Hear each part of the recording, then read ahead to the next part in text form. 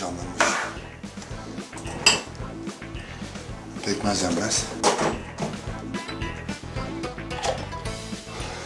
Bayılmak ister misin? Ay, zombi var onun içinde.